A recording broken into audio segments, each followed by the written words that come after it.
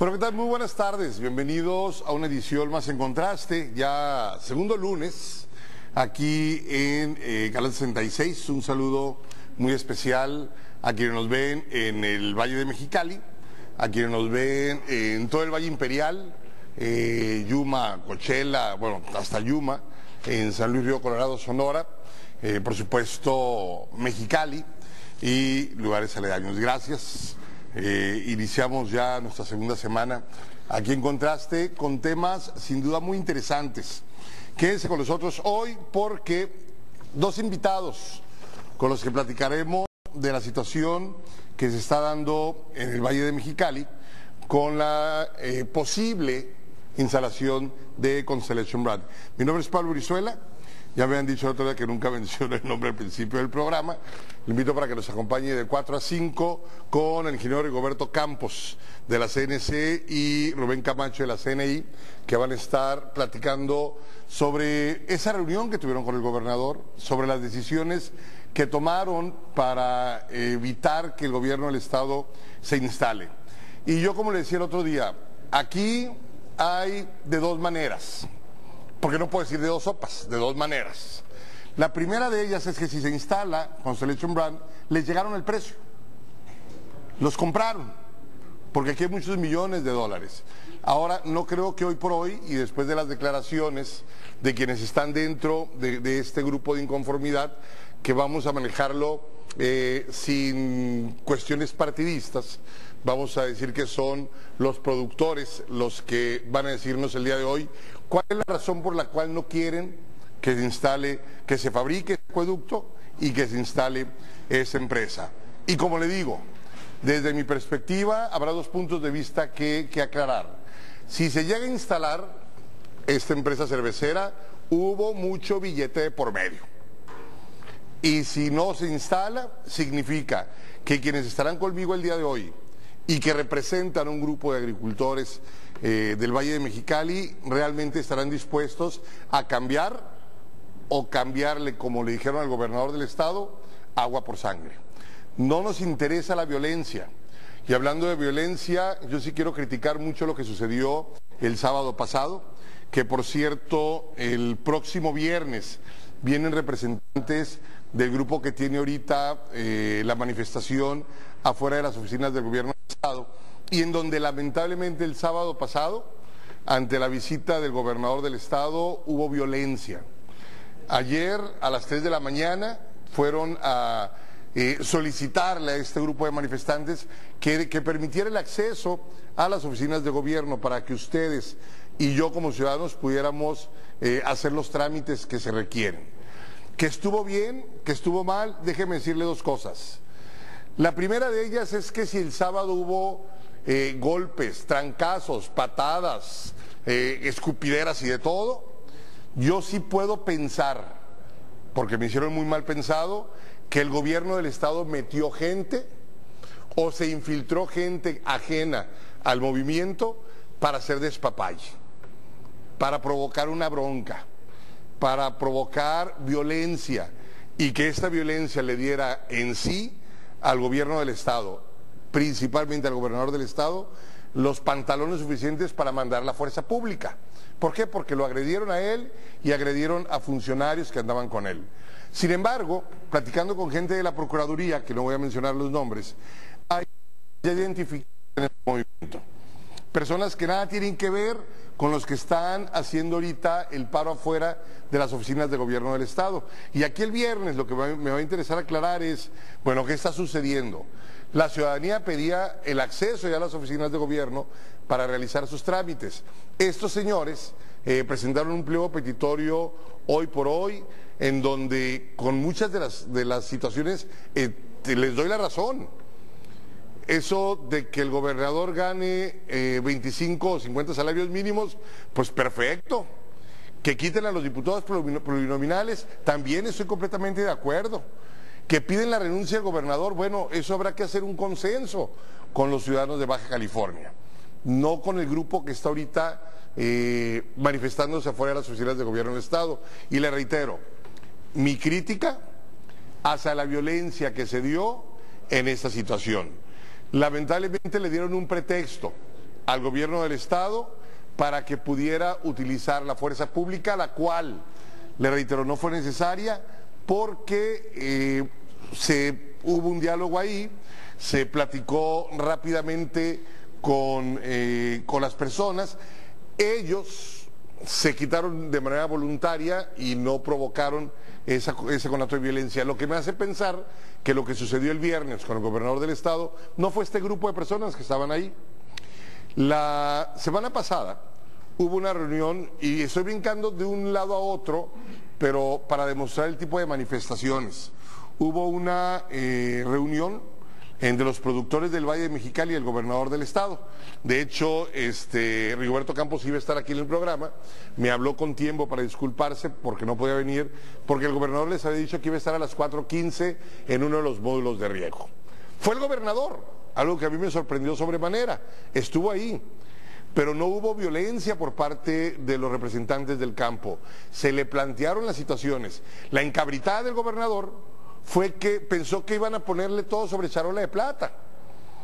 Y los eh, productores y agricultores se montaron en su macho y dijeron, no, señor gobernador, no queremos que se ponga esta planta, no tenemos suficiente agua, tenemos aquí los estudios que nos dicen que no podemos sembrar más. Y si viene esta planta nos va a ir de la fregada. En esa ocasión, el que salió por piernas y pegando de gritos fue el gobernador del estado. Varias veces ha hecho lo mismo Voltea a la gente y las trata eh, viéndolos por arriba del hombro, como si fuéramos menos. Cuando los que votamos para tenerlo como gobernador, eso no significa que yo vote por Acción Nacional, pero tengo que decir, como ciudadanos de Baja California, ahí lo tenemos. Nosotros lo pusimos. A mí nadie va a venir a verme por arriba del hombro.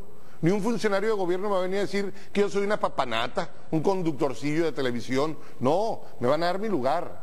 ¿Por qué? Porque yo les pago el sueldo. Bueno, sería muy egoísta decirlo de esa manera. Todos les pagamos el sueldo. Y ahora, lo que quieren hacer con esta situación, pues vamos a plantearle ahorita.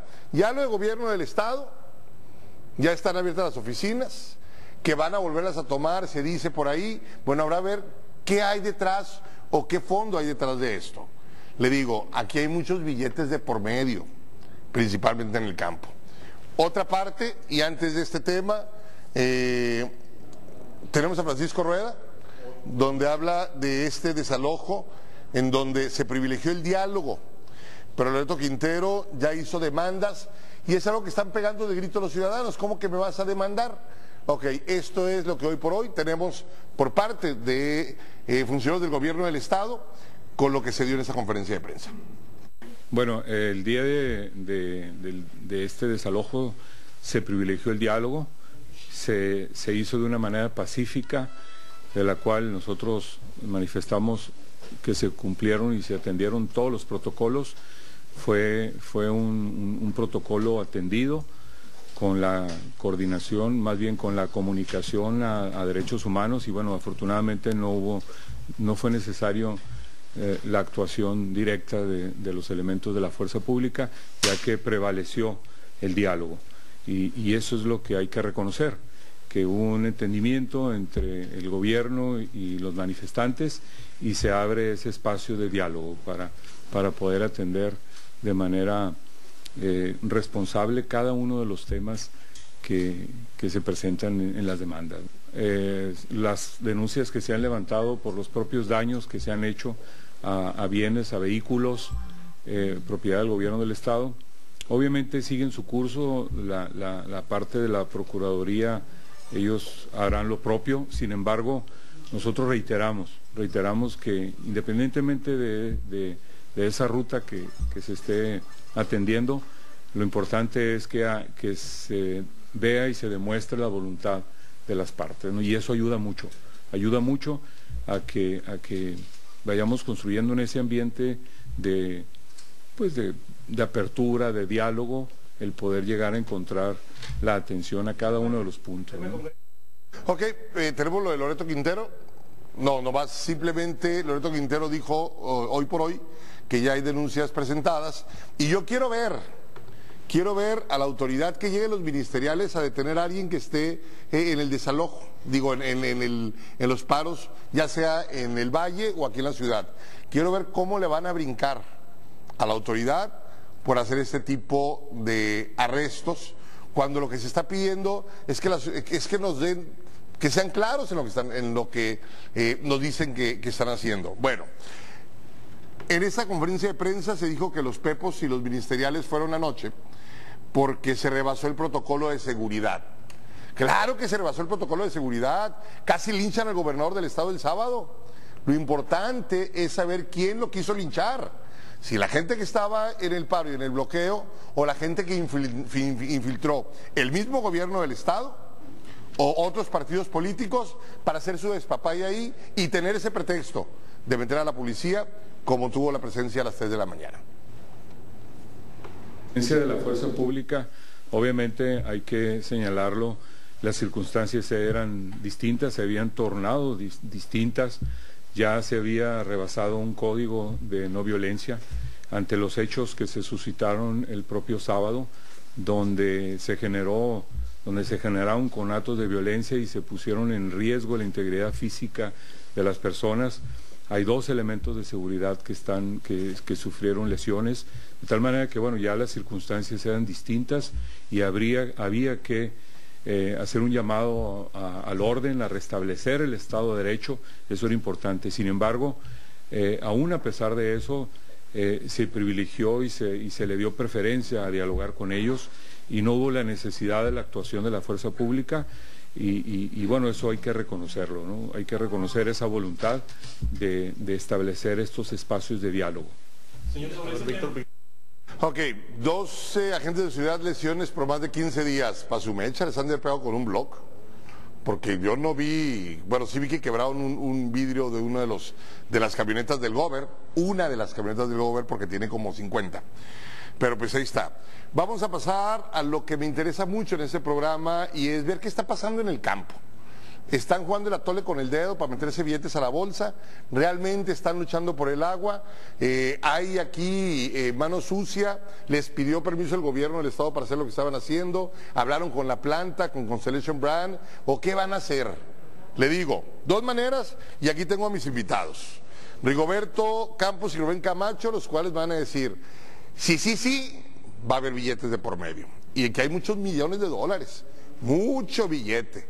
Así es que más quiero preguntarles, ¿tienen precio? Y si no tienen precio, pues que me convenzan a ustedes y a mí de que realmente van a luchar por el campo, porque el valle es agrícola, no es industrial.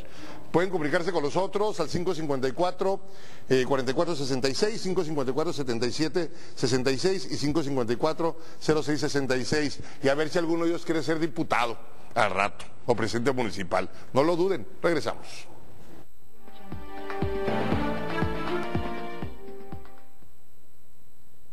Que preguntarles. Si no nos da su punto de vista, nos dan su punto de vista, no sabemos qué piensan.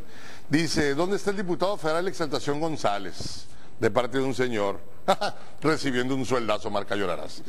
Kiko gobierno, go- eh, gobernó para todos, no le importa de qué partido, sea, no fue a dialogar, fue a provocar a la gente que no comete el error de querer arrestar a alguien, la señora Aida Robles. Pues quién sabe.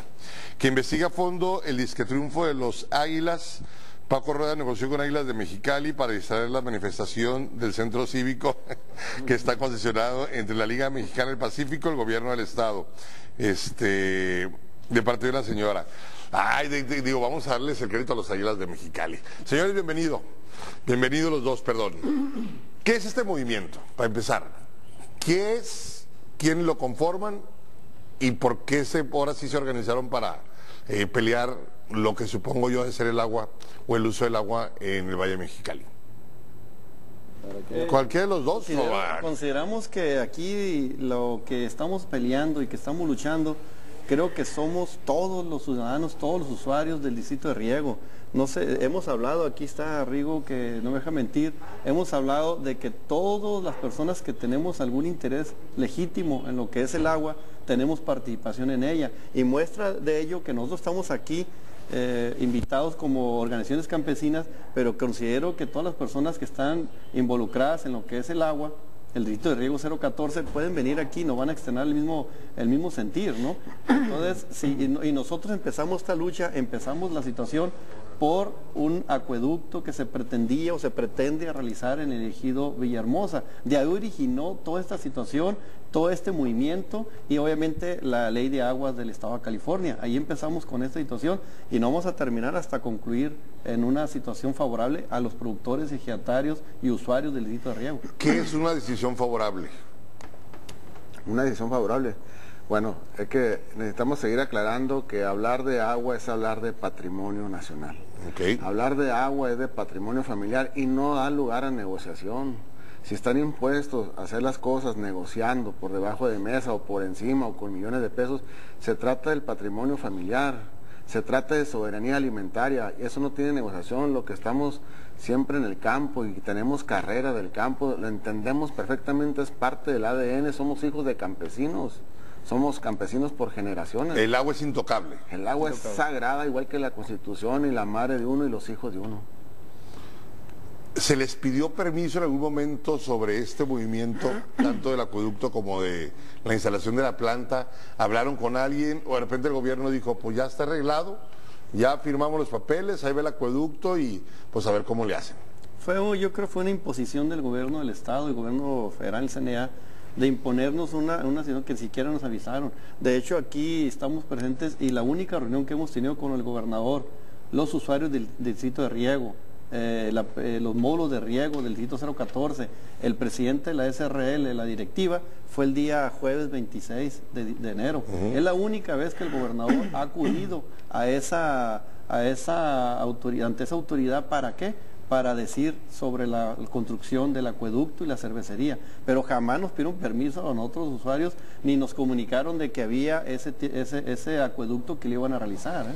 Pues hago de cuenta que de repente el gobernador del estado se quiere meter a mi casa ahorita y quiere meter una banqueta o una calle por el medio de la cochera o por el patio, por donde yo quiera, sin que me avise, de repente llegan las máquinas y quieren, quieren construir. ¿Es una situación similar? Y te quieres robar los ahorros de toda tu vida, tuyos y de tus hijos. ¿No les ofrecieron billetes?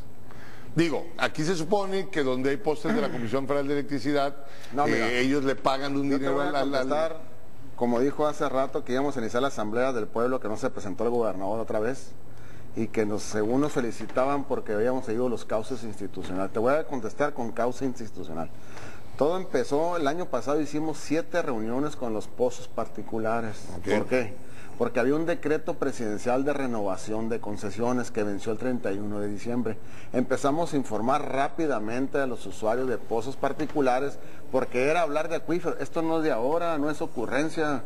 Desde el año pasado empezamos a trabajar con la asamblea, la última la hicimos en San Luis Río Colorado. Ojo, San Luis Río Colorado es parte de la cuenca del río Colorado. El señor gobernador cree que el agua es de él y de Baja California. Estamos consiguiendo la cita con la gobernadora Claudia Pavlovich para decirle, gobernador, ayúdenos a defender el acuífero que también es de usted. Empezamos a difundir y que se apuraran a renovar sus concesiones porque con agua no, no tiene el personal para haber llegado en tiempo y forma a todos los usuarios. Y, no- y- y estábamos muy preocupados de que se fueran a recortar porque el decreto decía, fíjate la palabra, se le va a castigar con 30% del volumen de extracción a todo aquel que no renove su concesión en tiempo y forma. Castigar, tú, a ti te hace justo que un campesino agricultor se le castigue porque no llegó, porque un día tarde con una copia y una credencial de elector. La No. palabra castigar, claro que no. Ahí empezamos con la lucha y luego descubrimos que hay una licitación para el acueducto publicada en el diario oficial de la Federación el 27 de septiembre del 2016. Yo no tengo ningún documento falso, como le dicen los medios, te estoy viendo ahorita ahí arriba. Como lo dice César Villalobos del Pionero. Señor, mi documento no es falso. Métase a internet y fíjese, diario oficial de la Federación 27 de septiembre del 2016. Ahí está la licitación. No me la han desmentido, nomás César dice que no, no sé por qué. Bueno, pero entonces, esa licitación está, no la dieron a conocer nunca. La tuve que pasear por todos los medios. Canal 66 y espacios como el tuyo les agradezco mucho que nos dan la oportunidad. La tuve que pasear, la negó con agua el licenciado Alejandro Cervantes Beltrán. Beltrán, lo visitamos, Rubén me acompañó dos, tres veces como, como organización campesina, negó la obra, la negó todavía cuatro días antes de que se pararan las máquinas a escarbar. que fue hace tres semanas. Todavía lo negó y se fue más allá, se atrevió a decir que no era recurso federal de Conagua, mucho, y tampoco federal, y que el gobierno del Estado mentía, sino decía que había presupuesto federal en esa hora. ¿eh? A los cuatro días llegó la maquinaria, o sea, no es de ocurrencias esto, ahí están los documentos, lo estamos defendiendo por eso. Hay la posibilidad, y aquí me disculpo porque jurídicamente no, no lo investigué, de que la Conagua, ahorita que hablaban de renovar eh, las concesiones, así como se las gasta el gobierno federal, que de repente no le gusta algo y te lo quita, eh, principalmente con los medios electrónicos, con ustedes puede pasar lo mismo, que de repente te diga, ya, el pozo no lo vas a poder usar, o como dije- dijiste ahorita, o te va a castigar tanto de esa agua que voy, voy a utilizar yo. Mira, tal vez te lo conteste, o tú quieres contestar. No, adelante, adelante. Porque Él es licenciado, yo soy zootecnista, comprende. Ok, no le hace, pero sabemos que lo entienda la gente y vez- que vea tal vez cuál te- es la lucha real de esto. Tal vez te conteste, ¿no? O sea, de lo que abunda, de lo que habla tu boca abunda en tu corazón. ¿no? Yo, el que puede decir algo no conoce mi vida, ni sabe un tercio de lo que es mío. Pero bueno, la Asamblea Popular de la Resistencia Civil, sesionamos hace rato públicamente, el punto número 6 del pliego petitorio comprende la cervecería y el acueducto. Esto no es falso para los que dicen de que traigo documentos falsos. Ahorita de ahí venimos. Se presentaron dos representantes de la Secretaría de Gobierno. Y ahí entre los medios di a conocer la ruta jurídica, causas institucionales, y aquí le quiero decir a los televidentes, hoy a todos los que nos están escuchando, es el día más decepcionante de mi vida. Y es el día que comprobamos que tenemos un Estado fallido, porque tuvimos que valernos de la Constitución de los Estados Unidos mexicanos para protegernos de nuestro propio gobernante, Poder Ejecutivo, representado por el señor Francisco Vega de la Madrid. Vamos a seguir una ruta jurídica, se las voy a conocer, debido que hasta hoy, contando 27 de septiembre del 2016 que salió la licitación publicada del acueducto para su construcción, hasta hoy no se han sentado a querer darnos una explicación, aunque fueron el 26. Cuando se presentaron el 26 con nosotros, ya venían a dar una conferencia, llevar a Valladolid de, fomento industrial, lo que no es agropecuario. Ya venían, decían que la cervecería va porque va. ¿Y saben a cambio de qué? Y, lo- y se lo dije al gobernador el 27 de enero. ¿Estratégico para quién? Dijo que porque vamos a hacer las fichas, el cartón del empaque y los stickers, ni siquiera calcomanías. Eso dijo que era mucha ganancia. De fuera de ahí, entonces te digo la ruta. Como no ha habido ninguna respuesta institucional hasta hoy, cuando dice que tienen la voluntad de diálogo, lo que va a decir Paco Rea ahorita, que el diálogo prevalece y el circo que montaron para querer, querer inculpar a los manifestantes, va a ser una ruta de cuatro pasos la que vamos a seguir. La primera va a ser con denuncias administrativas, la segunda penal, la tercera va a ser con la medio del amparo y la cuarta para los derechos humanos. Hoy, tristemente, decepcionantemente decepcionado de mi gobierno estatal y que le digo es un estado fallido, no existe la separación de poderes, presentamos la primer denuncia popular ante Profepa. Ahí está el sello original. Con el licenciado Adán Coronado Castillo, jefe de denuncias y quejas de la Procuraduría Federal de Protección al Ambiente por sus siglas, Profepa. ¿Qué dice esta denuncia popular? Apegado al principio de precaución de daños a la ecología. Es una de las rutas. Y dice, brevemente te digo, amparado bajo la LEGEPA, la Ley General de Protección al Medio Ambiente, que dice que es una denuncia popular. El hecho es de que en el año de 1990, 92, los gobiernos del mundo se reunieron en la Conferencia de las Naciones Unidas sobre Medio Ambiente y Desarrollo. De esta reunión internacional derivó la Declaración del Río sobre el Medio Ambiente y el Desarrollo, donde quedó consensuado el principio de precaución. Debo, debo preguntar, y perdón por la interrupción, Yo creo que contesta algo de la pregunta, ¿no? Eh, permítame. Y, y consecuentemente, apegado al principio número 15 de esta misma convención, con el fin de proteger el medio ambiente, los estados deberán aplicar ampliamente el criterio de precaución conforme a sus capacidades. Cuando haya peligro de daño grave o irreversible, la falta de certeza científica, porque aquí no existe manifestación de impacto ambiental absoluta, no deberá utilizarse como razón para postergar la adopción de medidas eficaces en función de los costos para impedir la degradación del medio ambiente. Significa que la omisión no exime, culpabilidad. Para terminar y concluir en este, lo que la pregunta que tal vez hiciste.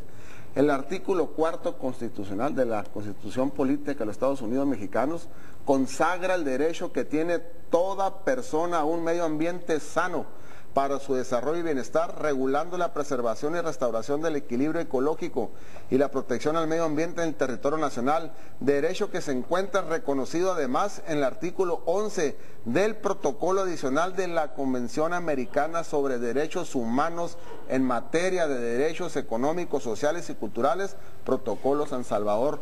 Lo que pasa es que señor presidente, por quedar a veces bien con tratados internacionales, firma y no tenemos el andamiaje ni la infraestructura humana ni material para llevar a cabo en tribunales estos acuerdos que está firmando a nivel internacional. Y obviamente desconocen las autoridades locales que es una bola de ineptos. Eso me preocupa. Me preocupa el hecho de que el mismo gobierno es el primero que viola las leyes.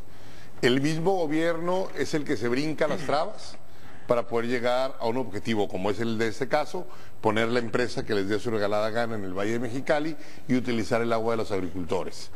Y aquí lo preocupante también es que tienen todo un sistema jurídico y legal para poder hacer esto largo, amparar a la empresa e instalarla. Esto me lleva a mi siguiente pregunta. ¿Se va a permitir de alguna otra manera que se instale esa empresa por parte de ustedes? ¿O es un rotundo no? Nosotros, nosotros, Pablo, deja contestar esa situación. Hemos tenido bastantes reuniones. Aquí, Rigo, yo presentes y otros compañeros y todos aquel interesado en, la, en el sitio de riego. Y hemos llegado a la conclusión y ahorita creo que todos estamos en esa idea porque no podemos cambiar un acuerdo de asamblea que hemos manejado. Y dijimos no a la cervecería, no a la construcción del acueducto y que nos que perjudique obviamente a los usuarios del distrito 014. Eso ya está bien marcado. Con fundamentos interesantes Lo o hemos legales. Lo Así hemos es. dicho en toda la reunión, o sea, técnicamente le hemos dicho al gobernador y se lo decimos cada rato y se lo dije el 26 de enero, ahí en la reunión que tuvimos en el comité hidráulico. Señor, ¿qué tan difícil es entender que el acuífero está con un déficit? Lo publicó con agua el 20 de abril del 2015 de 450 millones de metros cúbicos. ¿Qué tan difícil es entender que un acuífero abatido y usted viene a traer industria de huella hídrica tan alta a popotear el acuífero? Tenemos la amenaza de la intrusión salina del mar que lo tenemos 80 kilómetros y que estamos 3 metros bajo el nivel del mar. Y que la calidad del agua está declarada en C4 partes por millón muy elevadas de sal. ¿Qué tan difícil entender eso técnicamente? Pues para el gobernador yo creo que mucho. Sí, Porque no, y- por más que se lo expliques con canicas o con plastilina, parece que no logra Y para entender toda la bola ineptos. absolutamente Y toda nada. la bola ineptos. ¿Y dónde están los diputados locales? Rigoberto, yo les voy a decir algo a los dos, voy a hacer una pausa comercial, que también me molesta mucho. Ellos se van a ir Y dejan el daño. con sus billetes, con lo que obtuvieron, se van a ir de aquí. La mayoría son tijuanos. Y les van a dar, les van a dejar el paquetote. Si lo permitimos. Eso es lo que me interesa mucho eh, saber ahorita. Vamos a hacer una pausa rapidito y continuamos, continuamos del más. ¿Quieren saber más de este movimiento del campo? Ya vieron que no es un capricho. Tienen, eh, legalmente están fundamentados y ya le refutaron en la cara tanto al gobernador como a sus eh, consejeros y secretarios, pues que no saben nada de leyes, Ni de agua. ni de, mucho menos de agua, Nomás saben de dinero. más que la que se toman. Y ya ese gringa. Regresamos. Thank you. Ok, 554-4466, 554-0666 y 554-7766. Eh, privatización del agua y la empresa cervecera es un negocio particular del gobernador Kiko Vega. Ya endeudado el Estado con 40 millones de pesos y le faltan tres años todavía. Tiene un gabinete corrupto encabezado por Carlos Bonfante Olache, eh, Carlos Bonfante Olache, de parte de Arturo García. Dice en la estación de Radio Venezuela, usted le dijo al Consejo al, al consejo, al gobernador y ahorita en el canal lo está defendiendo porque yo no estoy defendiendo al gobernador. Perdón si se me malinterpretó, pero no estoy defendiendo al gobernador. Simplemente estoy diciendo que no entiende lo que está pasando en el estado por el cual la gente votó para que fuera gobernador. Digo, el tiempo se va rápido. Aquí hay un argumento que utiliza siempre el gobierno federal y los gobiernos de los estados. Eh, por omisión, y lo acaban de decir ahorita, no pueden hacerse patos, por no decir otra palabra. Sin embargo, están muy acostumbrados a salirse con la suya. y llegar de repente, eh, de hecho ya se manejaba una fecha para que viniera el presidente de la República a instalar la primera piedra de, de- de la empresa esta. Eh, y me decían ahorita, nadie está de acuerdo con la empresa, todos ustedes están, aquí sí hay una unidad de tal manera que no va a haber chanchullo abajo del agua, que digan cuatro, no, pues nosotros sí aceptamos. Porque por ahí me enteré que el jueves el titular de Conagua estaba eh, pidiendo que le vendieran sus permisos, los permisos de riego. ¿También es cierto esto? ¿A quién se lo pidió? Que se lo va a a varios eh, que estaban en la reunión con ustedes. Bueno, yo no alcancé a escuchar, pero el principal artífice en todo este movimiento de agua es Comisión Nacional de Agua, representada ahorita por el licenciado Alejandro Cervantes Beltrán. Hay una complicidad con el Hay gobierno una del Estado. es una mafia, de, un cártel que salió mafia del agua nueva. Está involucrado ahí muy altos niveles. Está la famosa, todo deriva de la famosa ley de Corenfeld. Estos son chalanes de Corenfeld, licenciado Alejandro Cervantes. Roberto Ramírez de la Parra, el director nacional de Conagua, es el achichincle de Corenfeld. El mismo Roberto Salmón, el director de Comisión Internacional de Límites de Agua, SILA, también está metido en esto porque está, hasta cierta manera, forzando eso que usted está diciendo. Si nos vamos al peor de los panoramas, que primero debería preguntar, ¿qué están dispuestos a hacer ustedes si empiezan, a, si continúan con la fabricación del acueducto y con la instalación de la planta? Pues en primer lugar, por la vía jurídica, vamos a sacar el tema tribunales internacionales para que haya una observación. Ya dimos el primer paso. En segundo lugar, eh, vamos a defender hasta con la vida el agua. Porque si nos va a matar de hambre en tres años, de una vez, vamos a morir en la raya y no es literal. El señor gobernador quiere cambiar agua por sangre campesina. El acta de nacimiento de esta monstruosa tragedia tiene fecha. Fue el 27 de septiembre del 2016 que salió publicada la licitación del acueducto. Ahí empezó. Ese es el acta de nacimiento de esta tragedia para el Valle de Mexicali. Mira, la delegada de Semarnat de Coahuila, que allá está la Constellation Brand, que ya dejó seca la ciudad de Coahuila, se lo dijo. Ahí tenemos la publicación de Milenio, que era, un, la laguna. era un impacto negativo ambiental, la Constellation Brand. Ahorita ya está en sequía la ciudad, ya dejó sin agua la ciudad. Entonces, está mal orientada la inversión del gobernador. Esas no son las industrias que queremos con huella hídrica tan alta de desarrollo. En- estamos tan mal que, que nunca nos vamos a poner de acuerdo. ¿Por qué? Porque mientras que nosotros estamos buscando una reconversión de cultivos del Valle de Mexicali, buscando cultivos más redituales porque se pone difícil para nuestros compañeros y él siembra trigo. Se pone difícil, queremos equilibrar las cédulas de cultivo, buscar cultivos perennes como el nogal, por ejemplo, el dátil, que ahorita llevan 1.200 hectáreas establecidas, que sea rentable. Pero este señor entendió rentabilidad va a cambiar- por cambiar la vocación natural del Valle de y quiere de la noche a la mañana machetazo la agrícola y vamos a la industrial porque no son de aquí, no sienten la patria, no sienten la tierra, no son de aquí, ya vienen a hacer negocio nada más. Eso es lo equivocado que está este señor. Se manejó mucho tiempo que el campo ya no era redituable, pero acabas eh, de decir algo muy importante. Yo soy muy malo para hablar de usted. Eh, ya nos dimos cuenta que el giro de lo que se estaba sembrando no es lo que está dejando lana, pero podemos seguir en el giro industrial y buscar cosas que nos empiecen a producir dinero. No tiene por qué cambiar el giro del Valle de Mexicali. No, pues el gobierno federal no lo dice. Ahorita la- la- el sector que produce la mayor riqueza de Producto Interno Bruto es la exportación de productos agropecuarios. Ahí están los números. Está por arriba de las ventas de petróleo, está por arriba de las remesas que mandan los paisanos para acá, para el país. Eso no entiende el gobernador. Está por encima de la exportación de productos agropecuarios. ¿Por qué no le quiere apostar eso en Baja California? Ahora, Podríamos tener un Valle Mexicali rico. ¿Qué más prosperidad que ver un valle sembrado todo el año? Yo le pregunto aquí a Rubén, que es agricultor de generaciones y de- todavía, y aparte abogado. ¿Tú no quisieras sembrar un cultivo, Rubén? Sí, de, de hecho nosotros tenemos la situación de los 107 litros ¿verdad? por hectárea, que es el problema que hay precisamente, ¿no? y que se lo decimos al gobernador, se lo decimos en todos los foros, a todo mundo lo, lo manejamos, que nosotros nos limitan al, al- al- sexo riego, ¿no? Para el trigo me refiero, que ahorita están en apogeo el- el siembra, la siembra del trigo. Nosotros cuando trillamos en mayo queremos hacer un doble cultivo, Pero ¿qué pasa con el doble cultivo para, para el Valle Mexicali? Pues simple te dicen, ¿sabes qué? No, ya te acabaste tu dotación de agua, ya no tenemos agua para que hagas un doble cultivo. Entonces, en los cultivos perennes como la, como la alfalfa, por ejemplo, se dan riegos y hay gente, hay gente, está, y dice gente, y nos hemos comprobado que les- se le ha secado la alfalfa. ¿Por qué? Porque ya se acabó su dotación y hay modos, módulos ofertadores de agua que transfieren con el banco de agua, transfieren el agua. Entonces, ¿de dónde dice el gobierno que hay agua? No, el, agua- el agua no hay, tenemos de, Pero eh, se, se les pregunta a los funcionarios, se les pregunta al gobernador, no a sus cercanos, y dice, oye, ¿cómo? ¿Es que hay agua en abundancia? Lo que pasa es que ellos motivados por el dinero y el poder los hace opinar eso nada más. Es el ejercicio indebido del poder público que los hace opinar una tontería tan grande. Aquí está, carne y hueso.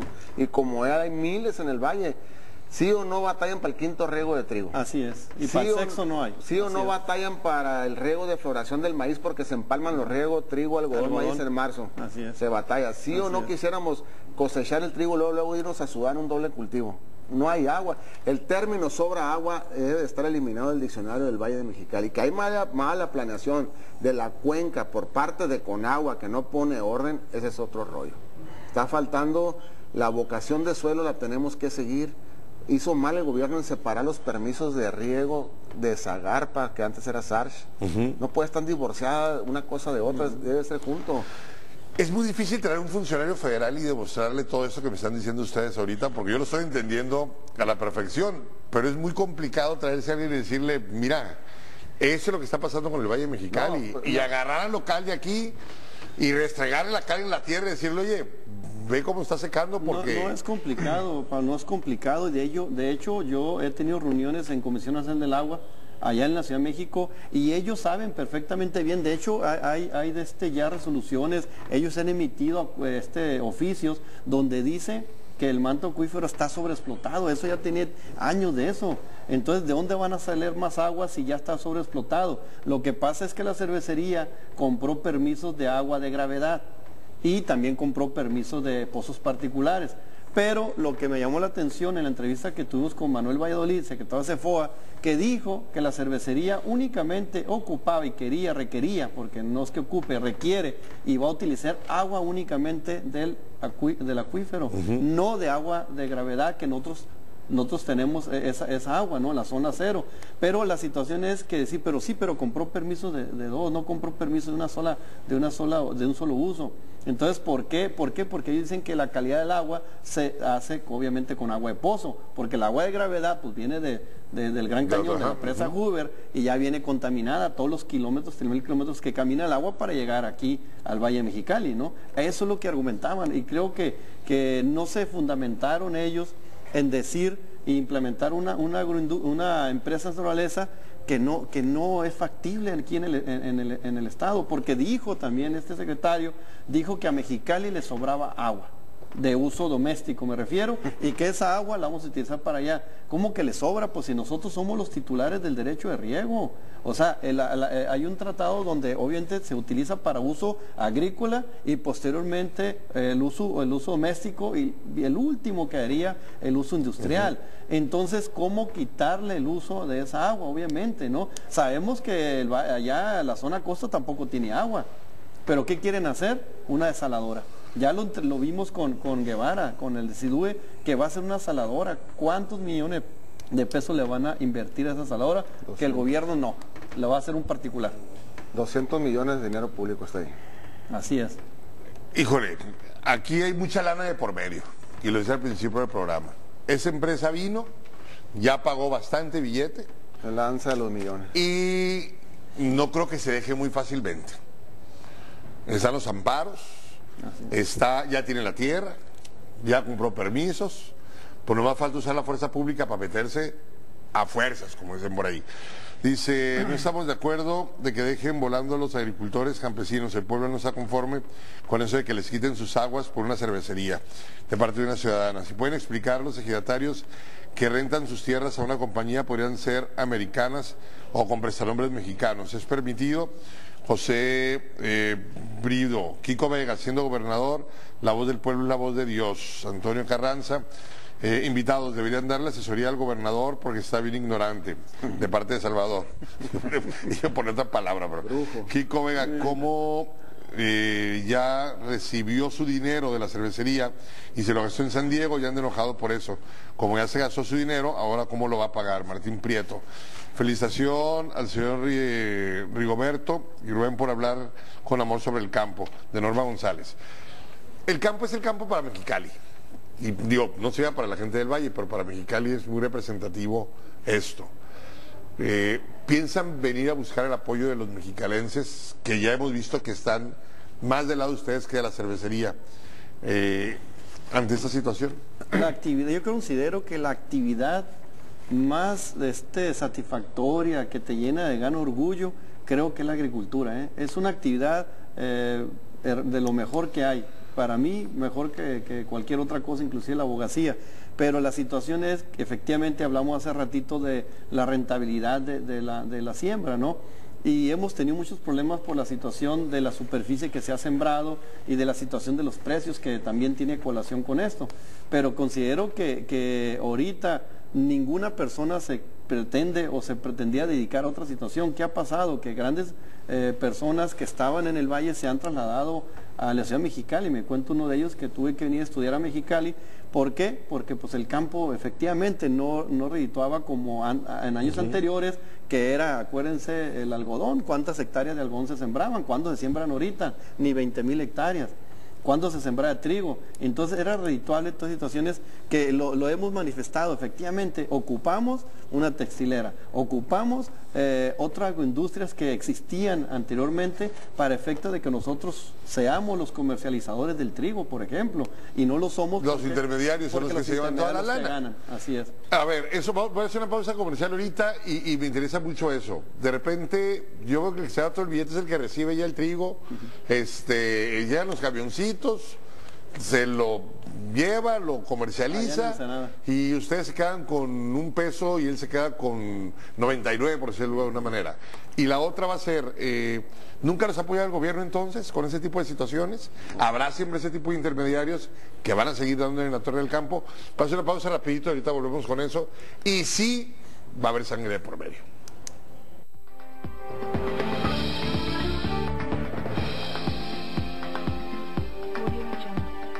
Ok, lamentablemente el tiempo en televisión se va rápido y tenía muchísimas preguntas más que hacer. Eh, tengo seis minutos. Su opinión en lo personal sobre el gobierno de Kiko Vega con respecto a la situación que están viviendo. Y segundo, primero la primera. Yo considero que el gobierno del Estado, a través de, de Kiko Vega, ha demostrado una incapacidad eh, grandísima en lo que es la situación de que se le ha comentado, se le ha dicho por parte de nosotros que hemos estudiado, que estamos en el tema y que hemos tenido infinidad de reuniones eh, para sacar la información. No le vamos a decir una situación que no esté respaldada, documentada y acreditada fehacientemente. Ninguna de los comentarios que hemos hecho, ninguna de las, eh, inclusive aquí el 27 de enero, de lo que le dijo, no se defendió en ningún sentido porque no tiene medio No tiene- no tiene la información. No tiene la manera de, infor- de- de defenderse y- y yo aseguro algo más, no sabe. No sabe de lo que está hablando. ¿Por qué? Porque ahí era para una situación para defenderse y decir la, la Constellation Brand y lo hizo la SRL se va a construir por esto, pero que no hay ningún convencimiento, no nos va a convencer porque no tiene argumentos jurídicos. Empezando por el impacto sociales. ambiental, que es, lo que, que es lo que manejaban al principio. Tu punto de vista, Pedro. Sí, no, definitivamente este señor gobernador no sabe ni la por los redondos más que para hacer negocios. Tiene un desprecio por el sector primario y es tanto el desprecio que el presupuesto de, de la Secretaría de Fomento Agropecuario para el 2017 es igualito al del 2009. Siete O sea, años va como el cangrejo para atrás. pero le aumentó 82% el gasto corriente. Tengo el análisis del presupuesto. Le aumentó un 82% para. Ahora Fomento Agropecuario, Agropecuario construye. Acaban de poner la primera piedra de un centro de investigación, innovación y desarrollo en el Sinaloa, en el ejido Sinaloa. Ahora parte del recurso para fomentar agropecuariamente el Estado lo van a usar para construir. No sabiendo el secretario de Fomento y el gobernador que existe un instituto de ciencias agrícolas que egresé de ahí, un instituto de ciencias veterinarias, un instituto nacional eh, forestal y agropecuario INIFAP y otro. O sea, un elefante blanco más secretario más regional. Es tanto el Estado fallido que los representantes ahorita locales del campo, llámese Andrés de la Rosa del Quinto Distrito Eminentemente Agrícola, Sergio Tolento, médico general, representa al sur del Valle Agrícola, de, de- ¿dónde están? No sabe el de la Rosa cuánto es la tonelada de trigo, lo entrevistaron aquí en el 66 hace una semana. No sabe que es una compuerta, no sabe que es un canal y representa, es el diputado que representa el Valle, pues por eso anda como gallina despescuezada al gobernador. Y el, y el, mismo presupuesto le dice, le dije Manuel, Manuel Valladolid, tú estás condenado a fracaso desde el 2013 que empezaste con ese presupuesto raquítico y que ahora aumenta el gasto corriente, para obra nomás va a asignar el 28% y, y lo demás para puro gasto corriente. ¿Y los diputados? ¿Dónde están? Yo pregunto. ¿Dónde está No Exaltación? con ver, ustedes. Exaltación, ahorita, ¿tú qué opinas de la cervecería? ¿Estás de acuerdo o no? A ver, porque es ponerte en contra de tu patrón Kiko Vega. Los diputados pasaron a ser funcionarios de gobierno, peleles del gobernador. No funciona el poder legislativo ni el judicial, te voy a decir por qué. Paco Rueda lo dijo hace una semana. Si se retiran del edificio, le- les retiro la demanda. Si es el Poder Judicial, o sea, él va a abrir la puerta a la computadora y le va a decir al Poder Judicial que es autónomo independiente, quítale, está que, están querellados, es por querella. Pero fíjate qué fácil se le hace manosear. El Valle de Mexicali pasó de un manoseo a un saqueo, lamentablemente propiciado por el gobernador del estado, Francisco Vega de la Madrid. Están dispuestos a tomar las armas para defender su agua y sus tierras. Tenemos bloqueado el acueducto. Ok, ¿van a seguir así?